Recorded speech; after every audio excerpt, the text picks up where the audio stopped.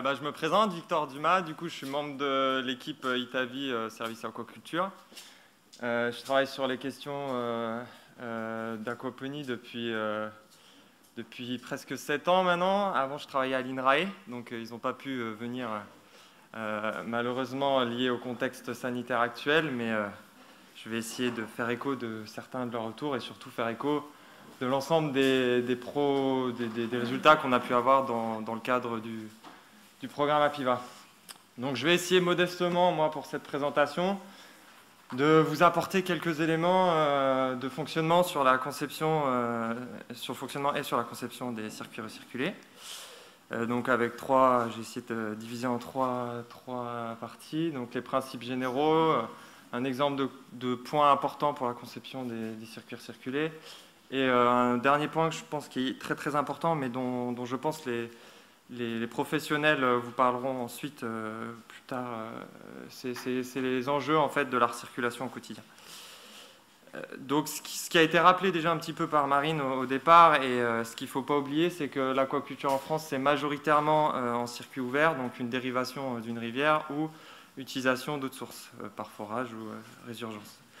Et donc finalement, le circuit circulé avec biofiltration, c'est une approche assez récente qui a tendance à se développer euh, à l'échelle mondiale et des fois, avec les échos qu'on en a par la presse, on a l'impression que c'est assez simple en fait et que ça marche dans tous les cas. Et en fait, on va s'apercevoir là que c'est assez technique donc euh, pourquoi est-ce que c'est technique? Euh, bah, La première chose, c'est qu'en fait, euh, dans un système de recirculation, bah, il y a le mot recirculer.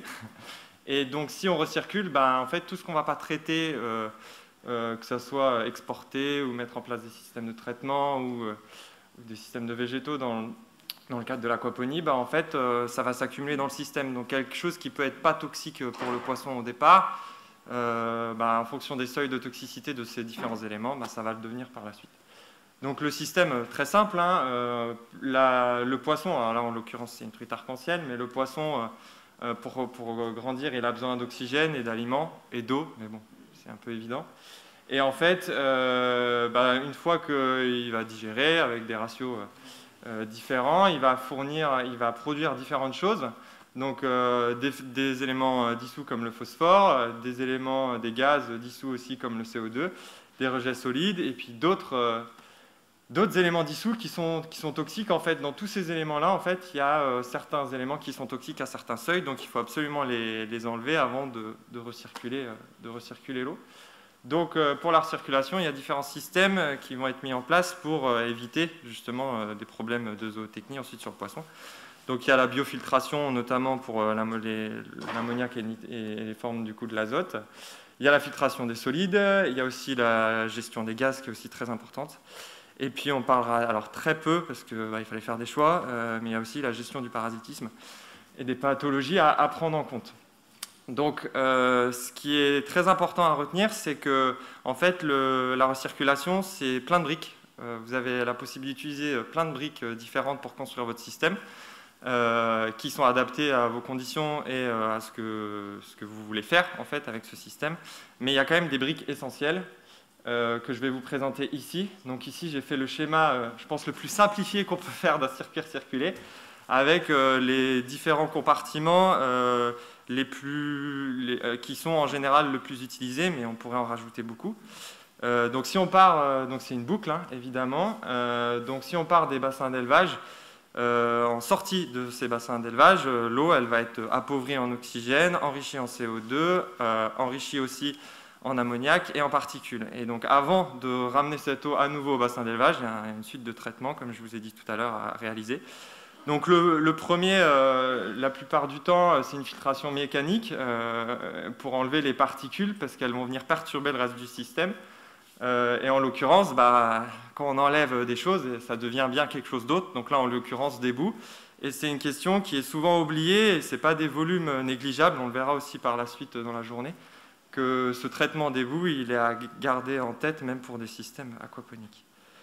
Euh, donc une fois qu'on est passé par cette première filtration mécanique, euh, on va aller vers une filtration biologique donc, qui a pour objectif de transformer euh, une forme toxique de l'azote pour le poisson, donc, qui est l'ammoniac, en nitrate qui a un seuil de toxicité bien plus faible. non, bien plus élevé du coup. et donc on transforme une grande partie de cet ammoniac en nitrate. Et potentiellement, on peut aussi faire un strippage de CO2 à cet endroit-là, et on en reparlera. Voilà. Euh, donc après, forcément, il faut de l'énergie pour recirculer euh, cette eau, alors plus ou moins en fonction des systèmes que, vous mettez en place.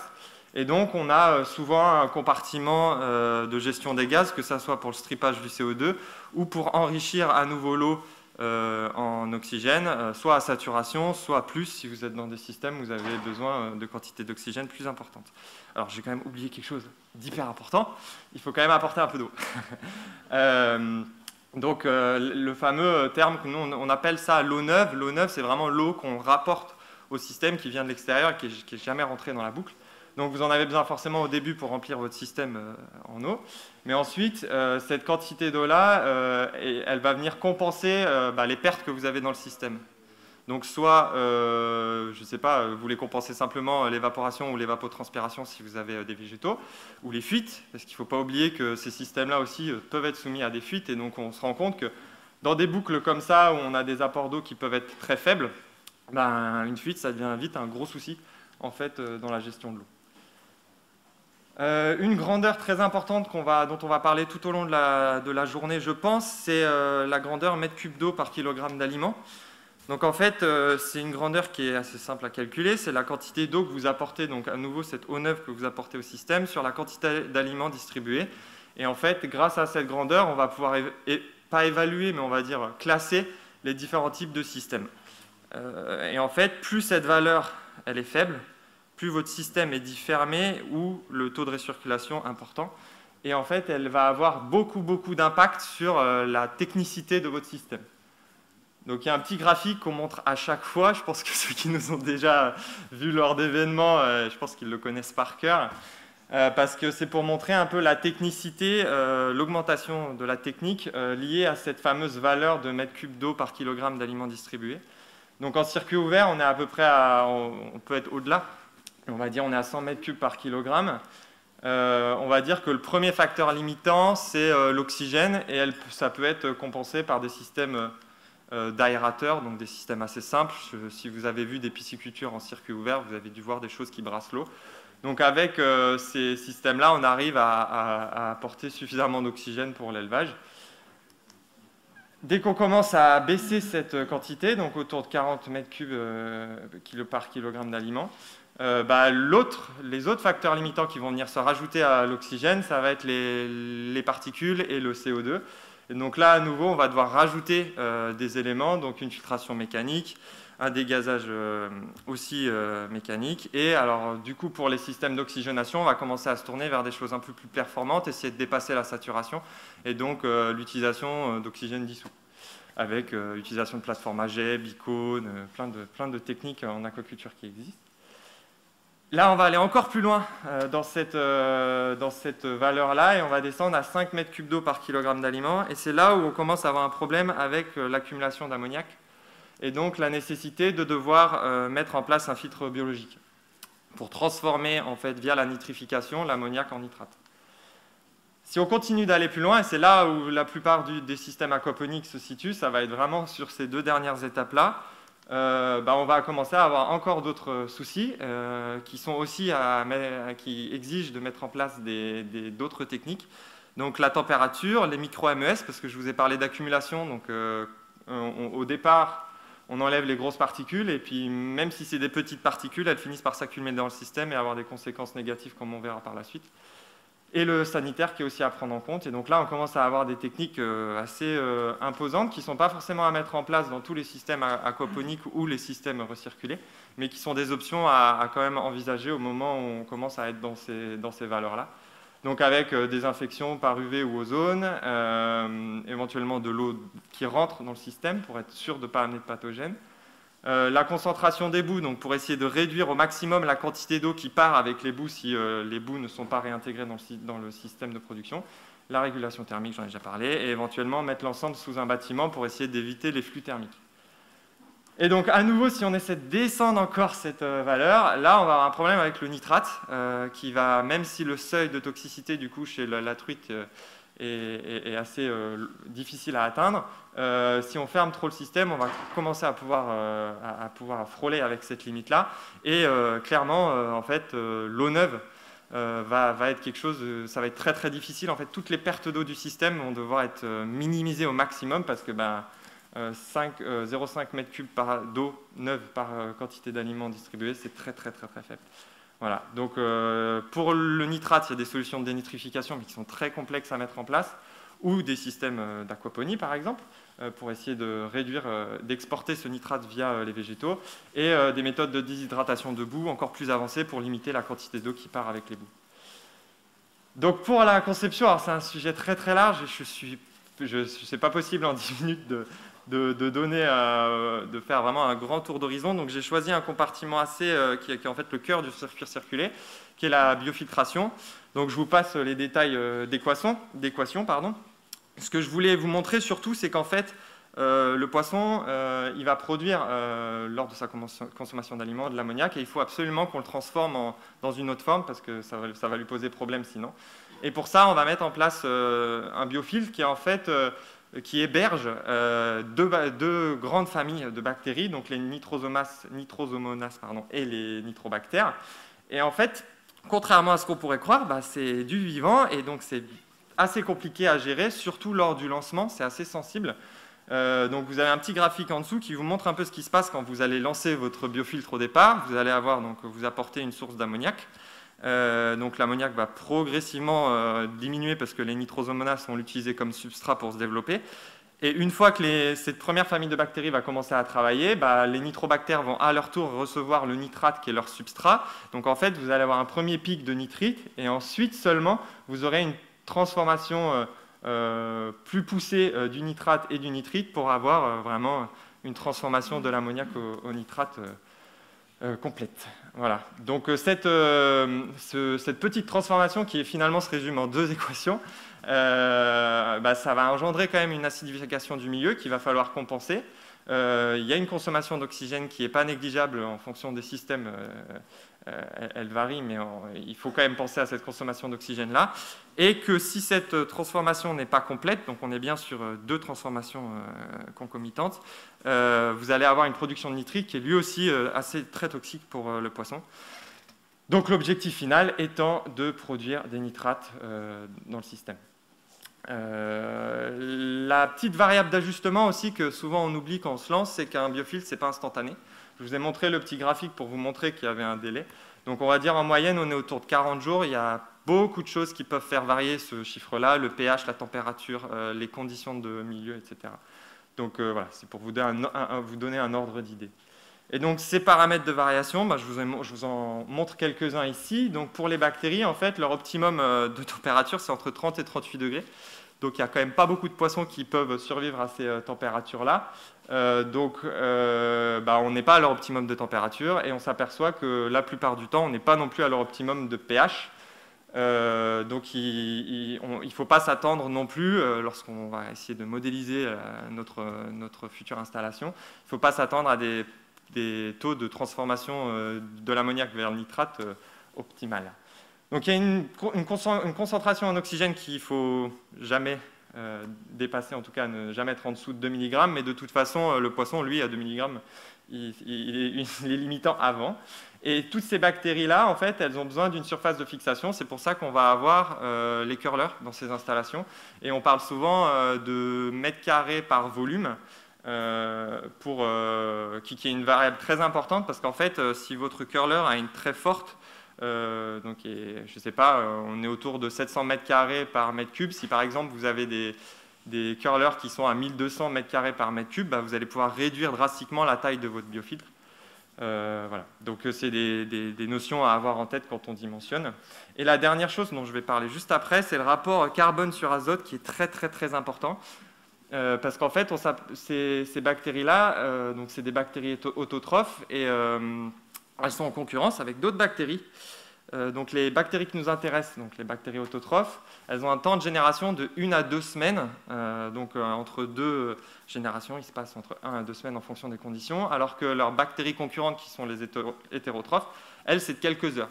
Donc il suffit que vous mettiez des conditions de croissance propices aux hétérotrophes et moins aux autotrophes, et du coup votre biofiltre il va être envahi d'hétérotrophes. Donc en gros, dans votre biofiltre, vous avez un nombre de chaises, d'accord Donc une surface.